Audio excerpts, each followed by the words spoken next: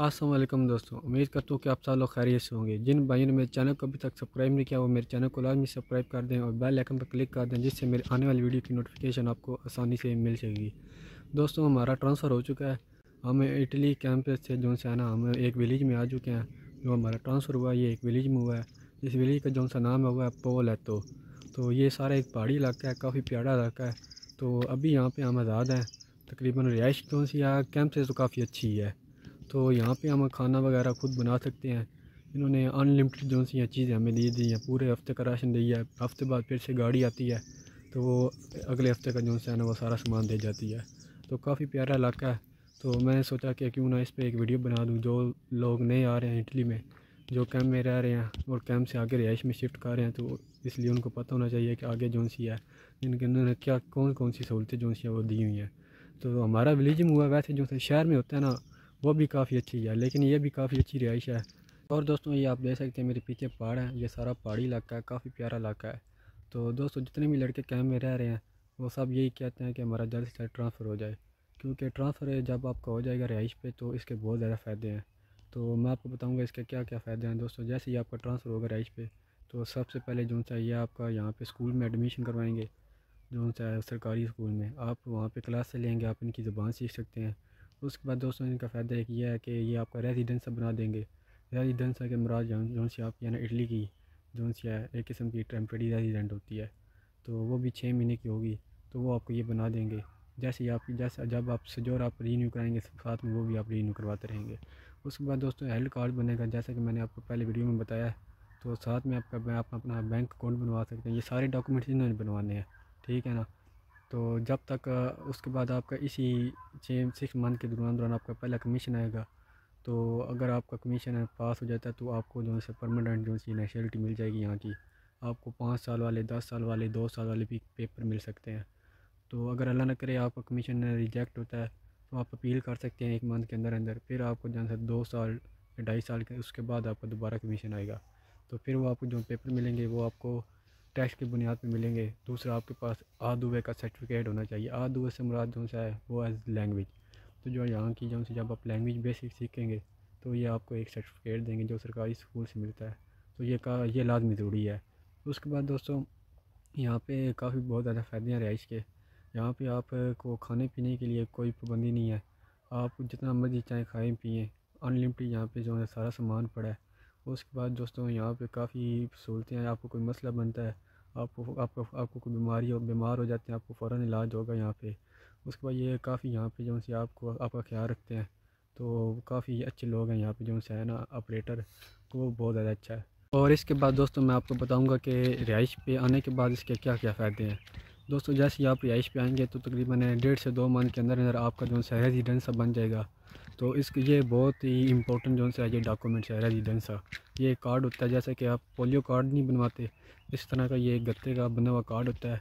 ये बहुत ही ज़रूरी है रेजिडेंस का कार्ड तो इसका बहुत ही ज़्यादा फ़ायदा क्योंकि जैसे ये आपको मिलेगा तो आप उसके बाद एक तो आपका ये एड्रेस हो जाएगा परमानेंट इटली में, जब तक आप आपको पेपर नहीं मिल रहे उस वक्त तो इस कार्ड पे आप अपना जो है अगर अच्छे, अच्छी आपकी जॉब मिल जाती है, आप अच्छे पैसे कमा रहे हैं यहाँ पे तो आप अपनी रिहाइश ले सकते हैं।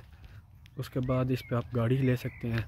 यहाँ पे कारोबार करना चाहते हैं तो इस कार्ड के ज़रिए, ये इटली वाली, इटली की गवर्नमेंट जो है वो खुद अलाउ आ रही है, इस कार्ड के ज़रिए आप गाड़ी, घर और अपना कारोबार, ये सब कुछ आप यहाँ पे कर सकते हैं।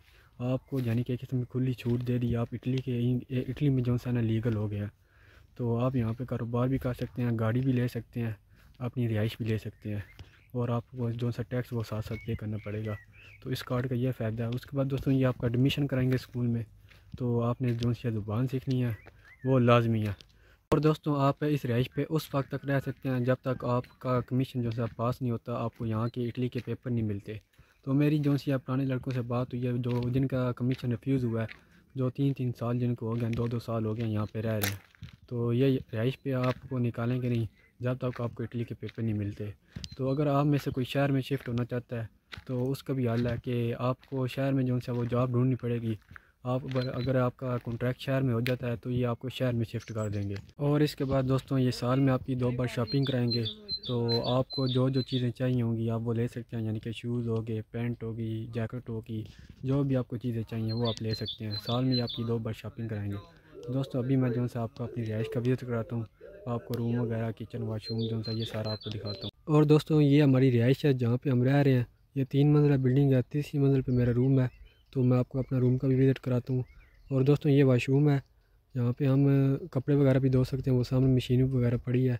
तो ये हमारा किचन है, आप देख सकते हैं, काफ़ी बड़ा किचन है दोस्तों। तो जहाँ पे आप अलग अलग भी अपना खाना बना सकते हैं तो हर बंदे को अपना अलग अलग राशन मिला है। तो ये साथ में दोस्तों फ्रिज है। तो इसमें सारा सामान वगैरह पड़ा है, जो नीचे वेजिटेबल वगैरह पड़ी है, जैसे कि आप देख सकते हैं सब्ज़ी वगैरह पड़ी है। तो दोस्तों, ऊपर ये सारे मसाले वगैरह पड़े हैं, ये देख सकते हैं आप, ऑयल वगैरह भी पड़ा है। तो इस बड़े किचन में दोस्तों दो फ्रिजें हैं, एक मैंने आपको दिखा दिया ये नीचे प्याज वगैरह पड़ा है तो दूसरी फ्रिज वो दोस्तों सामने है। तो इसमें देखते हैं इसमें क्या क्या सामान पड़ा है। तो इसमें ऊपर ऊपर वाले खाने में दोस्तों मछली पड़ी है, और नीचे वाले खाने में मीट पड़ा है, सारा चिकन वगैरह, दूध पड़ा है दोस्तों। साथ में एक और बीमारी है दोस्तों इसमें दोस्तों ये योगर्ट पड़ा है, यानी कि दही वगैरह पड़ी है, ऊपर ब्रेड वगैरह पड़े हैं। तो काफ़ी बड़ा किचन है दोस्तों, आपको, हर बंदे को यहाँ पे अपना अपना राशन मिलता है तो एक हफ़्ते के लिए। तो ये बहुत ज़्यादा राशन होता है, एक बंदे से नहीं ख़त्म होता। तो ये आराम से बंदा एक हफ़्ता जो है ना निकाल सकता है। ये साथ में थोड़ी सी जगह है दोस्तों तो हम रोज़ा रखने के बाद यहाँ पे जो सा नमाज़ पढ़ते हैं। तो ये देख सकते हैं आप, ये छोटी सी जगह हमने बनाई है नमाज़ के लिए। तो दोस्तों वो किचन में हम खाना बनाते हैं और यहाँ पे हम खाते हैं ये डाइनिंग टेबल पे। उधर से खाना बना कर हम इधर आ जाते हैं। यहाँ पे हम बैठ के खाना खा लेते हैं। ये काफ़ी बड़ा रूम है। और सारे लड़के यहाँ पे बैठ के खाना खाते हैं। ये सामने एलसीडी वगैरह भी पड़ी है। तो दोस्तों, अभी मैं आपको अपने रूम की तरफ़ ले जाता हूँ। और आपको अपना रूम दिखाता हूँ दोस्तों। ये दूसरी मंजिल थी दोस्तों। अभी मैं आपको तीसरी मंजिल की तरफ़ ले जाता हूँ। तो ये तीसरी मंजिल पर मेरा रूम है दोस्तों। तो मैं आपको अपना रूम दिखाता हूँ दोस्तों। ये सामने दोस्तों गैरली आ गई है। ये भी गैरली अच्छी है, काफ़ी बड़ी है।